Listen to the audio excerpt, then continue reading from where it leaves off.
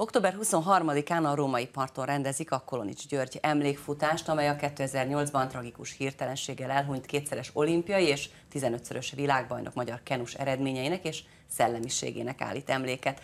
Vendégem Storz Botond, olimpiai bajnok kajakos, és dr. Szélpál Tamás, az olimpiai öt próba projekt vezetője. Köszönöm szépen, hogy elfogadtátok a meghívásunkat furcsa így egyben, hogy Kolonics György emlékfutás és olimpiai öt próba, de, de kezdjük inkább veled, Boti, hogy hogyan is kezdődött ez? Hát való igaz, hogy kajakosok és kenusok egy emlékfutást rendeztek. Igen, nagyon-nagyon régen kezdődött, tehát a, a Koló is tagja volt annak a kajakos csapatnak. Kajakosok évről évre, kajakosok, kenusok évről évre lefutották a Bécs-Budapest ultramaratont, és annak ugye a záró szakasza volt Budakesziről Budapestre befutni a félmaraton.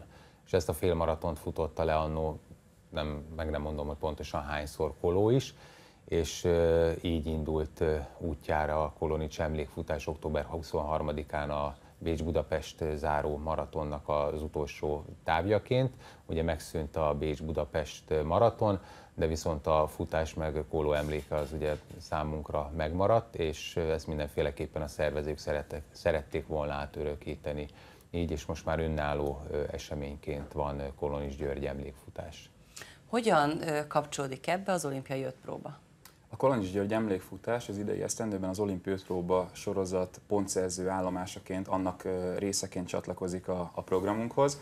Tudni kell, hogy a Kolonizs György emlékfutást a nagy sportágválasztó BBU szervezőiroda rendezi meg, most már tavaly után másodjára az idei esztendőben, és ugyanez a szervezet, ugyanez a szervezőiroda a koordinátora, lebonyolítója az olimpiai próba szabadidősport mozgalomnak, úgyhogy gyakorlatilag egy közös gyermek most ez a Kolonizs György emlékfutás nagy örömünkre, és az idei évben ingyenessé tettük a nevezést, tehát nincsen nevezési díj.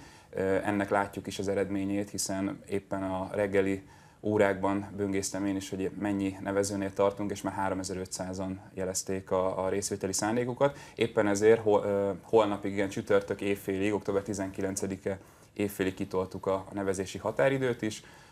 Várunk majd mindenkit sok-sok szeretettel Konizsi György emlékfutáson, ahogy, ahol, ahogy te is mondtad, most olimpiai pontokat is lehet szerezni.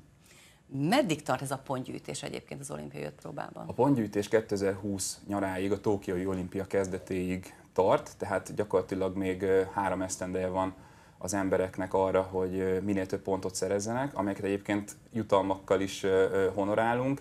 15 után baseball sapka, 25 pont után póló, 40 után egy hátizsák, 60 pont után pedig a, a Tokióba utazó magyar olimpikonokéhoz megszólási hasonlító melegítővel jutalmazzuk a, a sportteljesítményt.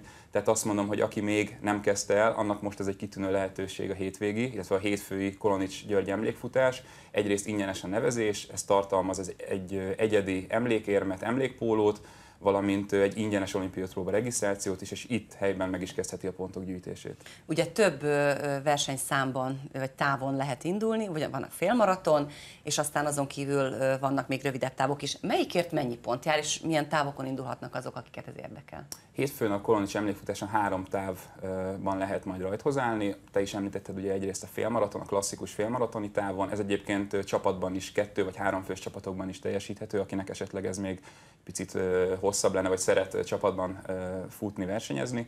Ezen kívül van még egy 11,5 fél kilométeres, egy rövidebb két kilométeres távunk, utóbbiért egy pont, a 11,5 fél kilométerért kettő pontot adunk, a félmaratoni távért pedig négy olimpiai pont jár. Akkor jó sokat kell mozogni azért, hogy meglegyenek azok az ajándékok.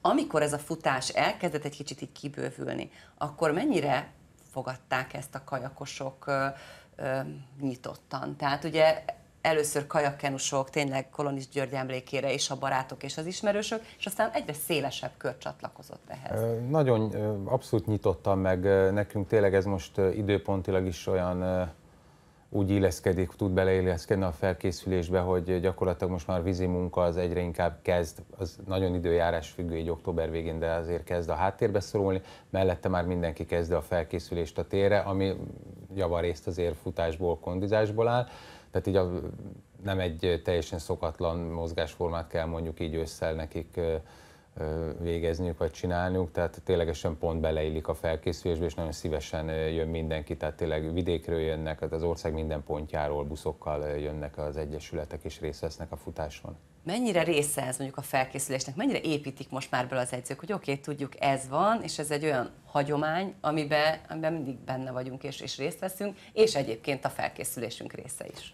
Olyannyira része, hogy mindig benne van az év elején az elfogadott eseménynaptárunkban, tehát a versenynaptárunknak a része az október 23-a harmadikai Kolonis György emlékfutás, tehát abszolút a része ugyanúgy, mint egy válogató verseny, tehát a mindennapokká vált. És te hogyan csatlakoztál az öt próbához? Mert látom, most már azért ruhában is viseled ezt Én a... úgy csatlakoztam az öt próbához, hogy nagyon tetszik ez a fajta kezdeményezés, hogy ténylegesen tömegeknek hirdet az öt program sorozat olyan teljesíthető távokat és olyan hosszú távot, tehát három éves programot, amelyel aki abszolút amatőr sportoló, tehát önmagának edz, kisebb csoportokban edz, az szerintem hétről hétre gyakorlatilag az évnek majdnem minden hétvégén van egy öt próba versenysorozat, ugye kerékpározás, futás, úszás, kajakozás, túrázásból áll. Ahhoz, hogy valaki a maximális 60 pontot elérje, ahhoz egyébként mind az öt sportágban részt kell vennie, és abszolút én is úgy látom, hogy mindegyik megszerezhető, meg teljesíthető, és aki tényleg csak azért sportol, hogy egészséges legyen, annak szerintem egy nagyon jó alkalmat biztosítanak ezek a versenyek arra, hogy legyen hétről hétre vagy napról napra meg legyenek neki a mindennapi célkitűzései. Tehát én magam is egyébként így élvezem, hogy részese vagyok a programnak, mert akkor mindig van valamiért lemennem edzésre, futnom, úsznom, stb. Tehát akkor részt veszel a többi programban is, nem csak a futásban?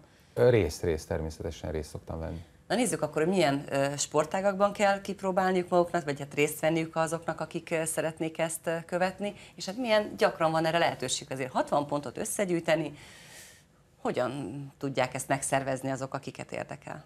Gyakorlatilag Boti minden lényegi részt elmondott itt a, az imént előttem, de azért én is röviden összefoglalnám, ugye futás, kerékpár, kajakkenu, úszás és túra, ez okay, az öt ez sportág. Az öt. Ezen, a, ezen a mostani Kolonis György emlékfutáson lehet-e mást csinálni, mint futni? Tehát lehet-e, hogy valaki esetleg mondjuk kerékpárral kísérje Nem, itt most, itt most csak a futásé lesz a főszerep. Egyébként van az interneten elérhető a honlapunk, ott az, az idei esztendőnek az esemény naptára is megtalálható. Itt tudják a sportolni vágyók megtalálni a számukra legtesthez állóbb rendezvényt, eseményt az idei évből. Gyakorlatilag a 2017-ben, ha jól emlékszem, nagyjából 60 olimpiótróba helyszín volt, vagy az a helyszín vált pontszerző állomása. Mindegyiknek megvan előre, hogy milyen sportákban lehet majd pontokat gyűjteni. Úgyhogy én azt mondom, hogy aki, aki még az idei évben is szeretne egységeket gyűjteni, olimpiai egységeket gyűjteni, az látogasson a honlapunkra.